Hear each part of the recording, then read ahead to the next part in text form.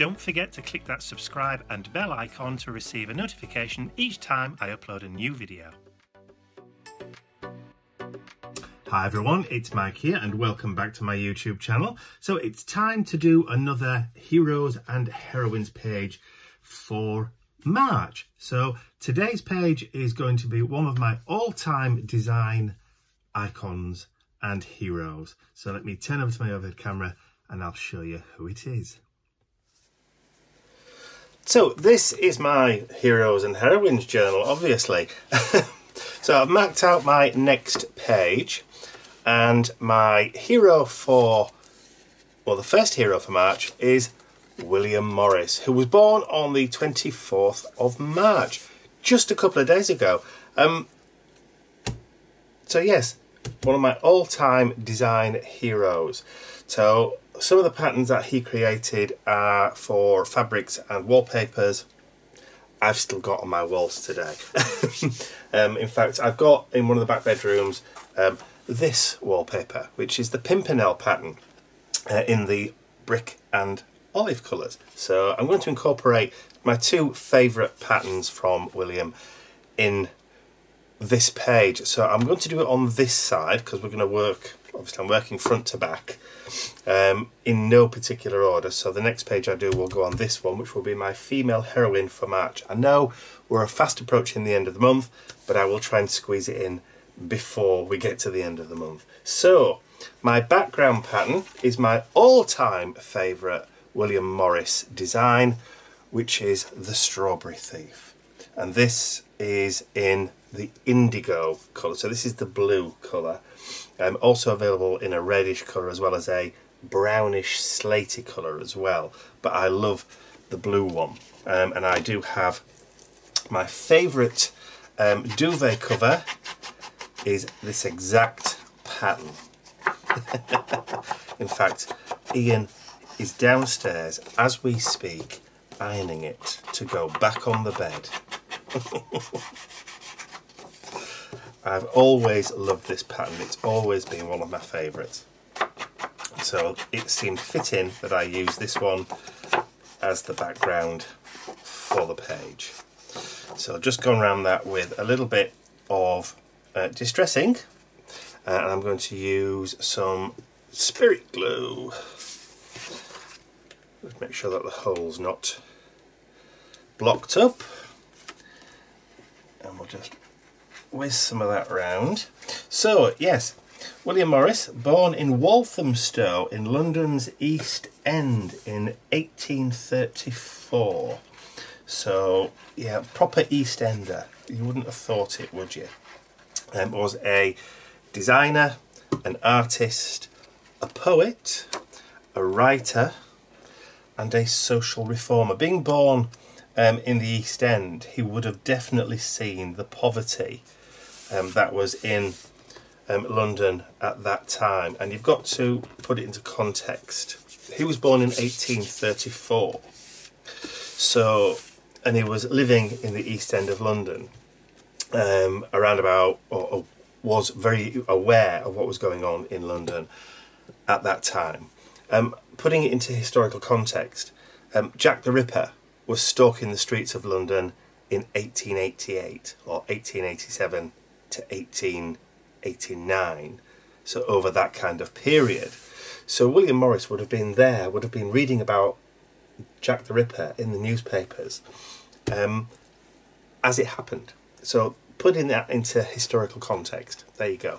Um, he would have been around about 50 years old um, around about the time 50 52 years when Jack the Ripper was at his height, if you like, uh, 1888, when he was really in the newspaper and literally he was um, all people were talking about, Jack the Ripper that is, not William Morris, um, around about that time.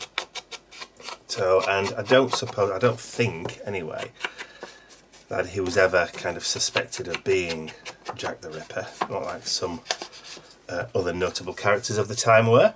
Um, right, okay, so this like I said, is the Pimpernel pan, my second favourite uh, of all time. So that's going to go down as a panel on the inside. So I've got both of my favourite patterns going down on that page. So yes, as I was saying, um, so yeah, so he would have been kicking around about that time. Um, he didn't die, or he died in 1896.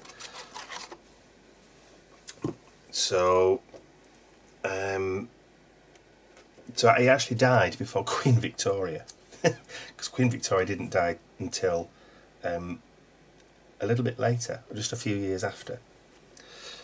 So he actually died before Queen Victoria, which is sad. It's very, very sad. Okay, so the next piece that I'm putting down in my collage is one of the prints for the inner pages of one of the books that he wrote. Um, now, as well as being a designer and a poet and all that kind of stuff, um, he was also a medievalist. So he loved kind of like the old, old time stories um, about like King Arthur and all that kind of stuff, that kind of Arthurian myth. Um, but also wrote his own kind of um, fantasy back in the day. So almost, if you like, um, like Tolkien, but they never really caught on as much as Tolkien's did. Um, so this is one of those um, illustrations from one of his books called The Well at the World's End. So this is just absolutely stunning, beautiful leaves with all that kind of foliage inside it. And there's obviously the, the, the lovers meeting in the wood, and it says, Friends in need meet in the wild wood. Isn't that beautiful? It's worthwhile exploring some of those illustrations, not done by him, um, done by different artists, but these were in his books. These are what he wanted, the type of Chaucerian kind of illustrations that he wanted inside his books. Right, so now it's time to stick down our beautiful photograph of William. So William's wife, Jane, was also an artist herself. She was um, very much his muse, um, but she was known for her embroidery work. Um, Morris was a, a big proponent of handcraft, well, arts and crafts. So at the time, the Industrial Revolution was kicking out mass-produced goods, and he was one of the leaders in the arts and crafts movement kind of kicked against that. Um, a more of a return, if you like, to handmade goods um, and crafts. A bit like what we're doing today. Um, most of us would rather have something handmade than mass produced. Um, just look at Etsy for that. Um, and at the time, he was obviously one of those proponents of handcraft, handcrafts, a return back to a, a more um, craft kind of aesthetic, a simpler time, um, rather than the high Victorian Gothic, um, more of a simpler kind of design, I think more um, led by kind of natural themes, plants and the natural world, which is why all of his patterns um, are all of the natural world. So again, this is another one of those illustrations from one of the books, which I just think is beautiful. It's just of a, a, a girl um, walking through like a meadow, if you like. But it's, again, it's surrounded by those beautiful kind of borders and illustrations. They're absolutely stunning.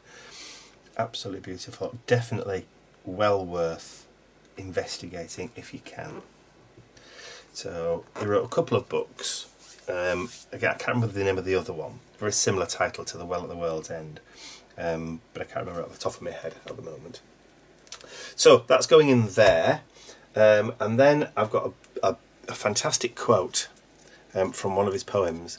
Thine eyes were light, thy lips were life. How beautiful is that? Very romantic.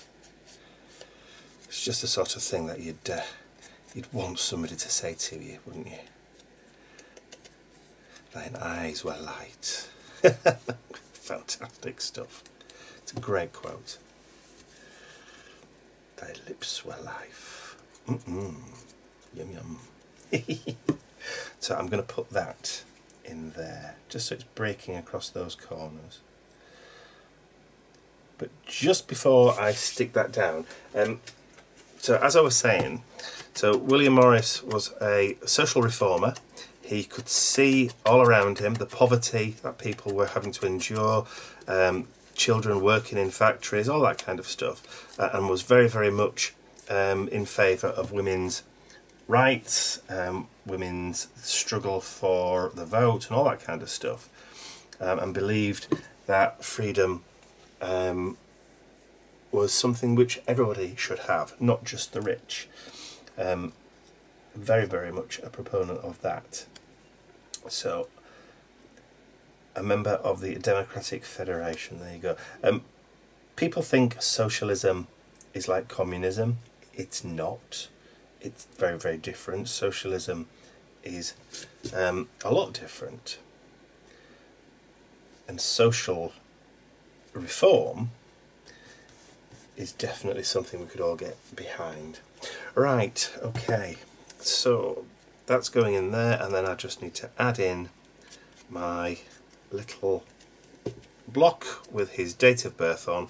So as I was saying about his wife, yes, so Jane um, was um, very well known for her embroidery um, and also for her um, she was his muse, but he also had two children as well, um, Mary and Jenny, who's also called Jane, Jenny Jane, um, depending on where you go to.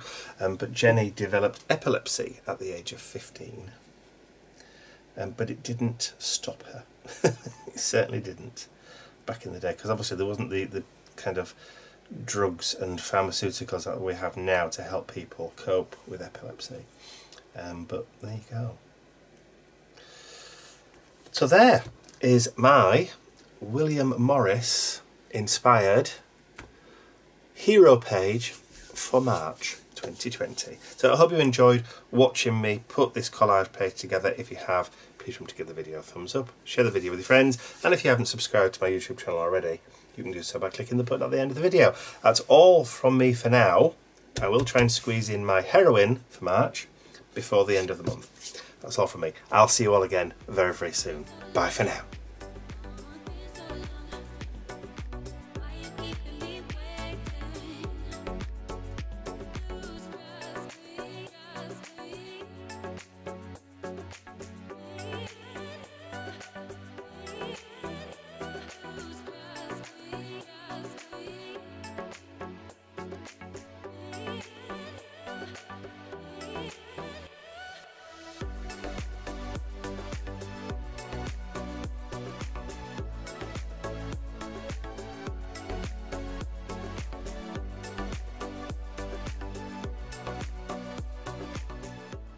I'd like to say a huge thank you to all of my angels because without you, these videos would not be possible.